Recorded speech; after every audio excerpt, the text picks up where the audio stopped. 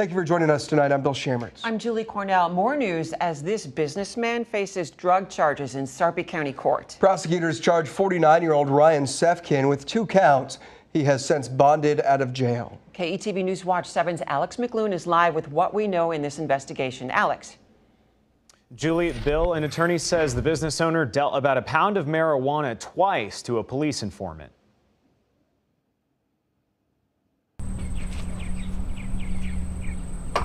Business owner Ryan Siefken is back home Tuesday, but with nothing to say just hours after bonding out of jail following his first court appearance. Your bond will be set in the amount of 75000 10%. This is a case where the police worked with an informant and purchased marijuana from the suspect. Deputy Sarpy County Attorney Lori Burgess says Siefken faces two felony counts of delivery of a controlled substance. First at his Shadow Lake home on July 6th, then again August 1st. This morning on the record, I told the judge that each of these purchases, the informant purchased about one pound of marijuana. The Sarpy County Sheriff says law enforcement searched Siefken's home Monday morning and arrested him. Until now, prosecutors say they're only aware of traffic tickets on Siefken's record.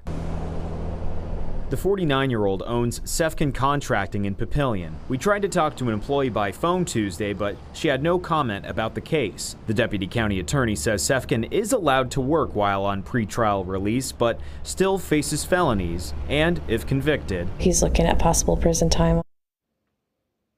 the deputy county attorney says it's still early in this investigation. Siefken is due back in court September 6th.